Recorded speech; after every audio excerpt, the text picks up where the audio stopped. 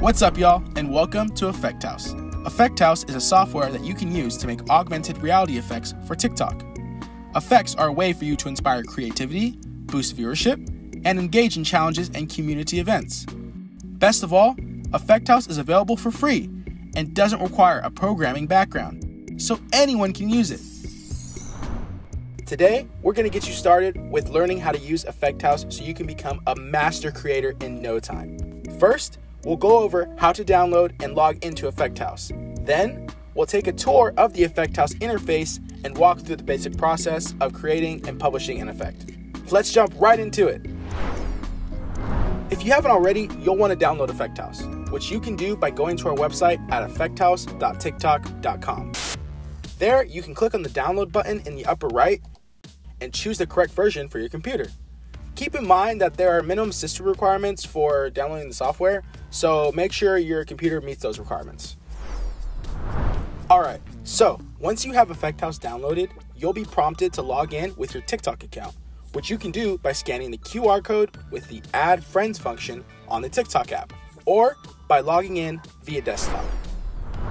Now that we're logged in, let's take a look at our homepage. At the top, you'll see banners showcasing feature highlights and how you can get involved with the Effect House community. So be sure to keep an eye out for cool new things. Beneath the banners, you'll find the most recent projects you've been working on, as well as a few recommended templates. Templates are pre made effects that you can open and modify to your liking. They're a really great way to dive into effect creation since they often showcase cool capabilities and allow you to make awesome effects without having to start from scratch. You can access an entire list of templates from the Templates tab and browse through them by category. Here's a couple right here. You can also find a complete list of your recent projects from this tab over here. If you want to create a new project from scratch, you can click on the Create Project button. And you can also click on the Open Project button to browse through your files on your computer. Down here, there are links to the Effect House website and our learning resources. Be sure to check those out. The Learning Resources page has step by step tutorials, guides, and tips for the best practices. There's also a feedback form you can submit and a button to log out. Down here, next to your username, you'll see a badge, which reflects your progress and milestones in Effect House.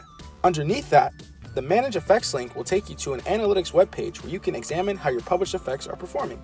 Isn't that cool? Now that we've seen the homepage, let's actually try to make an effect. I'm going to use one of these pre-made templates to start with. Here, we are inside the Effect House workspace. This interface is composed of a few different panels, so let's walk through each one and define some of the basic terms while we're at it. First, let's look at the preview panel, which shows a preview of your effect, and it mimics the TikTok interface on your phone. You can actually change the preview media from this menu. And you can even use the video feed from your webcam. At the bottom, you can also change the TikTok UI, depending on what mobile device you want to mimic. If you want to hide the preview panel, you can just click on this button over here. You can also undock the preview panel if you want to manipulate it as a separate window. In the upper left of our workspace, we have the hierarchy panel, which houses objects. Now, objects are these individual elements that make up your effect. You can toggle object visibility by simply clicking the checkbox next to individual objects or groups of objects. To add an object, all you have to do is click this Add button. Browse through the categories and select your desired object. If you select an object in the hierarchy panel, like this bling object that's already selected, you'll see that it's made up of different components which you can view in the Inspector panel. The Inspector panel holds all of the components, which are the elements that actually make up and control the effect. Each component has specific properties, which are the settings that you can fine tune and adjust to your liking. The Scene panel here shows a 3D or a 2D view of all the objects added to an effect. You can manipulate objects and control the view here. So, for example, if I add a three-dimensional object to the hierarchy panel, like a 3D image, I can click these buttons up here in the scene panel to move it around. in 3D space. Rotate the object, and even scale the object's size.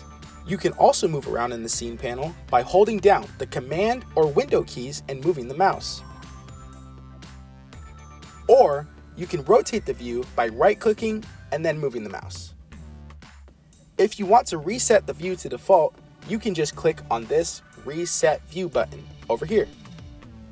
Two-dimensional objects, like eyeshadow, will show a 2D screen in the scene panel instead of a 3D space. The Assets panel over here is where you can import or add built-in textures, materials, 3D models, and audio. This template comes with preloaded assets like this freckle material that you can edit the color of in the inspector panel. Uh, let's add a little bit of red, maybe? Or let's do blue. Yeah, let's do blue. That looks that looks nice. If you want to import your own assets, you can do so by clicking on this add button and selecting from any of these import options. If you want to import pre-made assets, you can choose from this asset library up here. Oh wow, these look pretty cool. Yeah, you can browse all of these. Finally, we have the graph panel, which you can use to perform visual scripting. Visual scripting is a graph based programming method that lets you create interactive effects without needing to write text based code. So instead of writing code from scratch, you can just arrange and connect these little blocks called nodes to create flows of logic. Like the preview panel, you can hide this panel from view by clicking on this button. And you can undock the panel to move it around. You can make pretty impressive and detailed effects with visual scripting.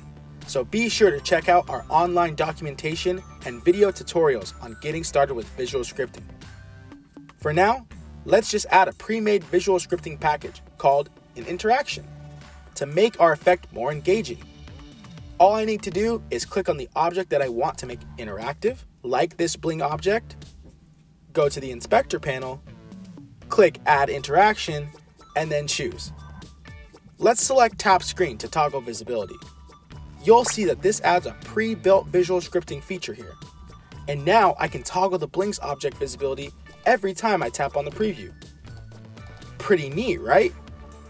If you want to preview your effect in TikTok, you can just click on this Preview in TikTok button, which generates a QR code that you can scan using the TikTok app's scanner function. Let's say that we're satisfied with our effect and now we're ready to publish it. So we'll click this Submit button we need to upload a thumbnail that represents our effect, which we can do here. Be sure to check out our guide on best practices for creating effect thumbnails. Don't worry, we got you. Then we'll need to name the effect. And we can also add a hint for users if you want to. The effect package size is shown here. It's within the size limit, so we're good to go. Once you click upload, you'll be directed to a web page where you can define the effect category. In this case, it's beauty.